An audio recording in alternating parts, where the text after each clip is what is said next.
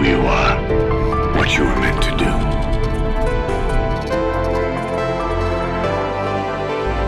This story, this legend, it's ours. Carry that.